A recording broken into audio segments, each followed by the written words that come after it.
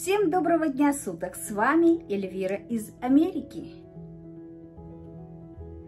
Жаптапор лишь багалами юлташлактин дандана Эльвира Америка Гачан. В нашей жизни происходят встречи а, с людьми, которые впоследствии оставляют очень глубокий след в памяти. Вот одну из таких историй я и хочу вам рассказать. А, эта история, опять же, связана с нашим переездом, перелетом из России в Америку. Летели мы из Москвы до Цюриха и из Цюриха до Нью-Йорка. Очень удивительным показалось для меня то, что именно вот нас четыре человека было, которые летели именно из Москвы до Цюриха и из Цюриха до Нью-Йорка.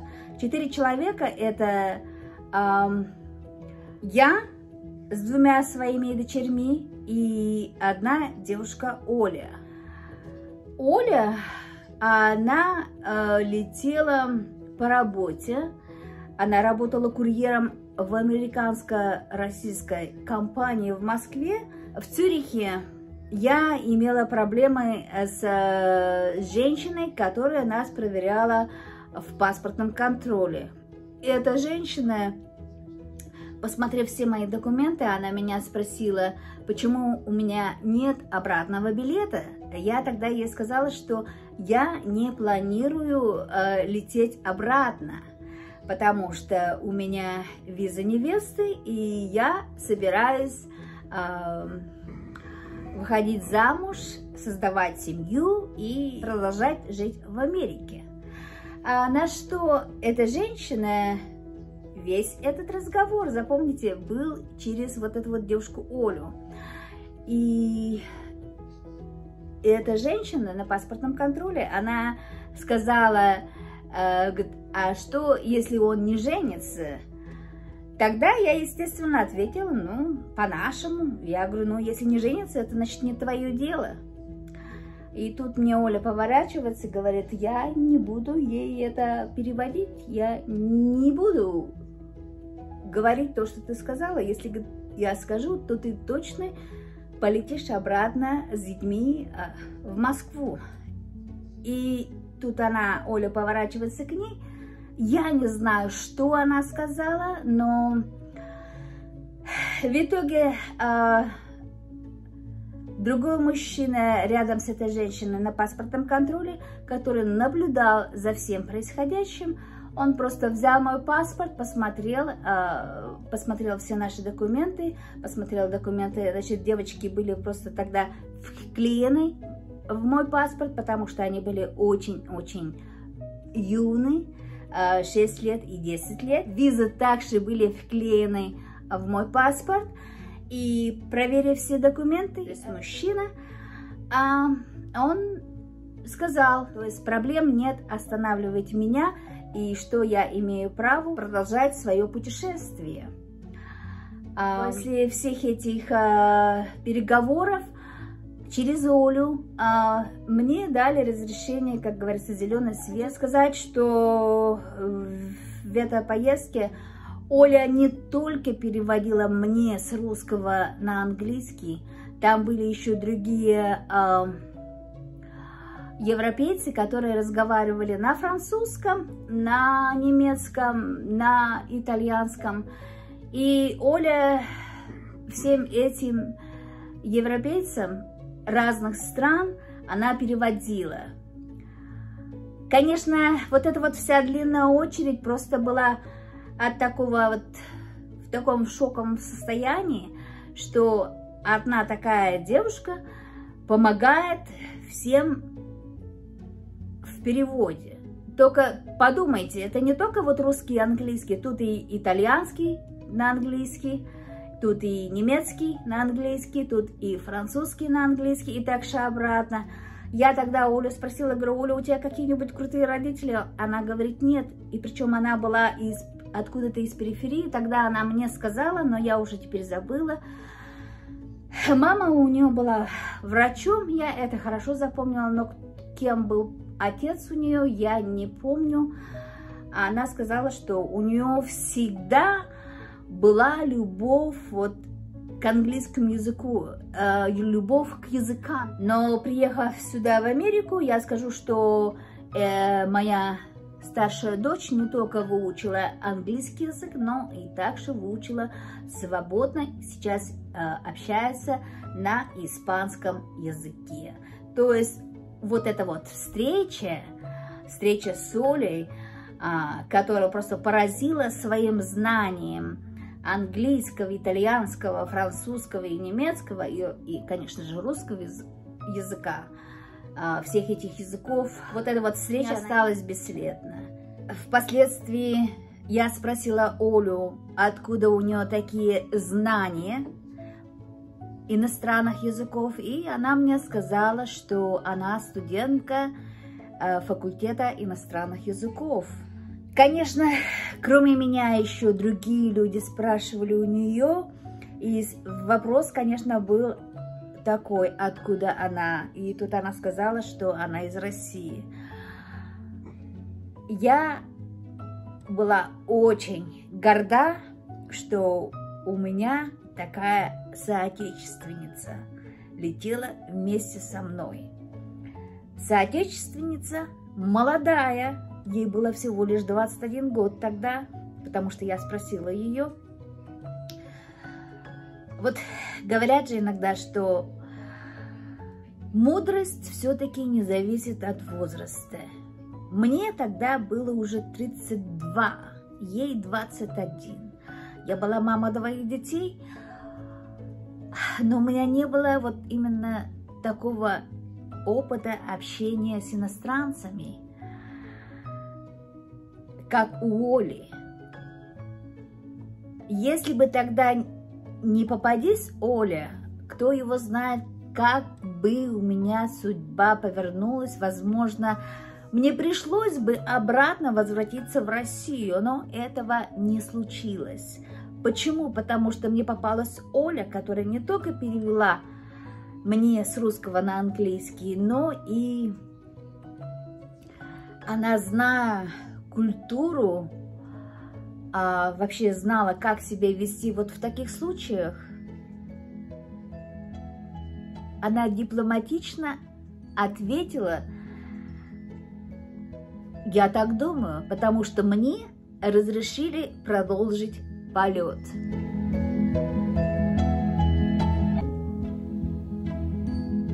Я сама много раз э, переводила э, иностранцам в, России. Э, и в эти минуты я вспоминала всегда Олю. То есть она была своего рода таким ангелом-хранителем для меня, для нас и для всех этих остальных европейцев. А тут а, уже мне спустя несколько лет, когда я уже поправила свой английский и была в состоянии общаться с людьми на английском языке, уже я помогала людям, которые, в общем-то, не говорили на русском языке, они говорили на английском. Одна такая встреча произошла э, в московском метро. Я только прилетела, и мне пришлось пересаживаться. Э, ехала я через метро, через белорусский вокзал. И в метро я стала в очередь покупать, значит, билеты на поездку в метро. И тут я смотрю впереди э, э, девочки, иностранки. Э, выглядели они как... Э, китаянки, а, стояли сзади с переводчиком, с книгой, и искали вот, э, как сказать, что им нужен, значит, э, билет на 6 поездок. И слышу, они разговаривали на английском, и, в общем, тут уже, знаете, очередь-то как бы э, становится длиннее, длиннее, и все уже нервничают. И я как бы, я говорю, hello girls, how may I help you? Говорю, привет, девочки, как ваши дела? Как я могу вам помочь? Они говорят, oh, someone speaking in English, кто-то говорит по-английски, yes, would you please help me, пожалуйста, помогите нам. Я, oh, sure, конечно, нет проблем. И я им тогда помогла э, с английским языком, то есть помогла я, вернее, с русским языком, я тогда помогла им э, купить билеты в метро. Конечно, метро, э, все люди, которые стояли в очереди, в очереди, они были безумно счастливы, что кто-то нашелся англоговорящий и помог вот этим двум девочкам. Потом я спросила, откуда они и вообще, что они делают в России. Они сказали мне, что они из Канады и прилетели в Россию э, на какие-то там буквально 4-5 дней посмотреть Москву и Санкт-Петербург. Э, я пожелала им счастливого путешествия и попрощалась с ними. Это вот, так сказать, своего рода я была тоже Олей для этих двух э, китайских девочек из Канады. А следующее, я помню, я э, в Шереметьево встретилась, значит, с одним из моих очень хороших э, знакомых, который впоследствии стал другом даже другом семьи я, потому что познакомилась с этим, у этого человека не только с ним самим, а всей семьей, с мамой, и с женой. А, он меня встретил в аэропорту Шереметьево, и мы пошли с ним, значит, обедать. И в момент, когда мы смотрели, значит, меню, тут, значит, на кассе женщина так очень громко говорила – я не понимаю английского. Думаю, господи, что она кричит. А тут иностранец, мужчина, значит, спрашивал у нее, как он может купить еду. А она опять, значит, я не понимаю английского. Я подошла, я говорю, how may I help you? А он говорит, oh, thanks God, спасибо Господи. Кто-то говорит по-английски. Говорит, I'm hungry, я, говорит, голоден, я хочу есть, но я не знаю, как говорит, купить еду. Помогите мне, пожалуйста. Я говорю, of course, no problem. Я говорю, конечно, нет проблем. И тут я поворачиваюсь ей и говорю, вы чего кричите-то? Он ведь прекрасно вас слышит. Только от того, что вы, вы говорите громко, он не поймет вас, не надо кричать. Я говорю, он голоден, он хочет купить еду. И тут она говорит, пусть берет поднос и, в общем, ставит все, что ему нужно на поднос. И, на, э, в общем, на кассе она уже все это э, проверит, сколько по граммам, развесит и скажет, сколько денег нужно будет заплатить за всю еду. Я ему все это объяснила, вот. В итоге, в общем, он купил свою еду, остался счастлив, потому что, как говорится, покушал, а когда полный желудок, и люди становятся добрее. Вот. Но тут он от меня, конечно, не отстал, ну, наверное, разговаривал со мной минут 45. И, и я с ним общалась также дружелюбно. И он мне рассказал, что он из Шотландии, from Scotland. И то, что он по бизнесу приезжает сюда, в Россию, он меня спросил, откуда я. Я ему сказала, I'm from Florida. Я из Флориды. I'm living in United States. Я живу э, в Соединенных Штатах Америки. И он сказал, что у него, в общем-то, даже есть дом вот в Орландо, во Флориде. Я сказала, вау, that's cool. Я говорю, это здорово. Ну, в общем, э, тогда он мне немножко даже надоел, но товарищ, друг, который был вместе со мной, он сказал, ты знаешь, сейчас ты для него самый добрый друг на свете, потому что он может говорить на своем родном языке. И ты вот как раз тот человек, который вот вовремя появилась. Это вот был еще один случай. А следующий случай был в метро. Я была уже в вагоне, ехала, и рядом со мной сидели мужчина с маленьким мальчиком. Маленький мальчик, ну, время примерно было где-то уже 11 часов утра в метро. А, маленький мальчик никак не хотел слушать своего папу. Отец ему на английском и так, и сяк, и говорит, ну, уже успокойся, ну, хватит тебе.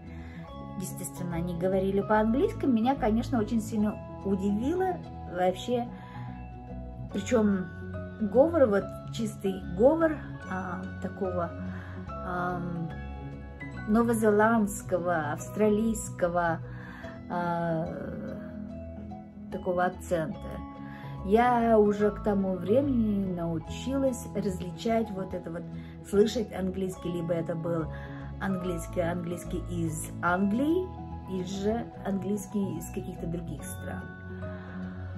В конце концов, после того, как папа ему сказал пять раз, чтобы он успокоился, но как я, учительница, да еще из учительской семьи, просто могу усидеть и не сказать маленькому мальчику, чтобы он успокоился.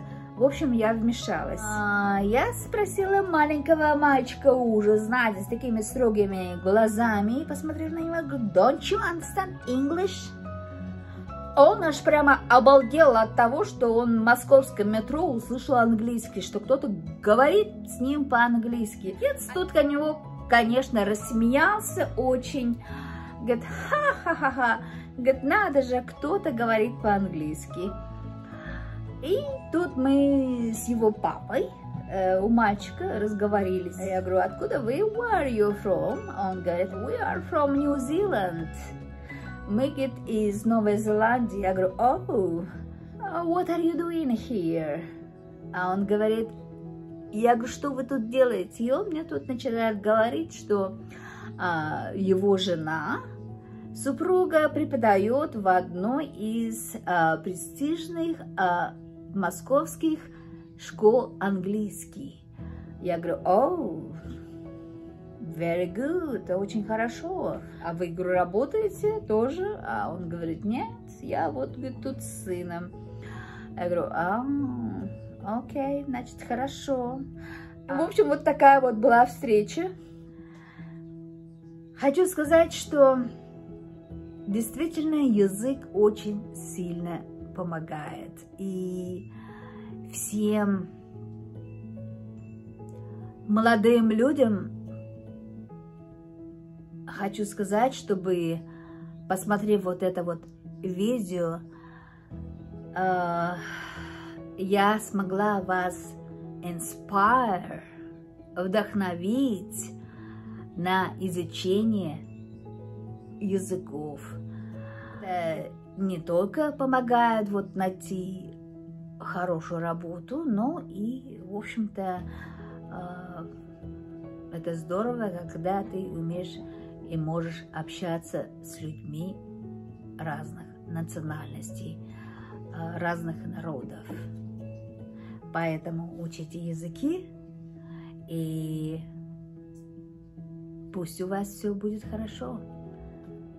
Кто еще не подписался на мой канал, подписывайтесь на мой канал, ставьте лайки, а, оставляйте свои комментарии. И искренне я вам всем желаю всего доброго, здоровья и счастья. С вами была Эльвира из Америки. Pagalım yıl taşlak, işanem Tindalan kelşenmeyen video tektinden ilışıştı irtaksay aydeme вашлиалтеш. Этида айдема тыланда полша ончика каяш. Кодаза комментарием, лайком шандаза. Тажа лиза, да пиалан лиза, тунемза йылме-влакым и тӱҥалза йылме-влакым тунемаш шкендан марий йылме гоч. Айдеме кӧ пала шке йылмыжым, а ме марий улына, значит, ме палшаш улына марий йылмым. kuname aklena pagalena aşkenam şkiyelmagoç tonamem nam aklat pagalat моловлак. Кунам ме палена шкенан йылмым, тунам тиде полшаш тӱгалеш тунемашлан моло йылмы влакымат. Тидлан тунемза шке марий йылмыда да, да тыгак моло йылмы-влакым. Лиза тыжа да пелен. Тендан дене лийын Эльвира Америка гычын.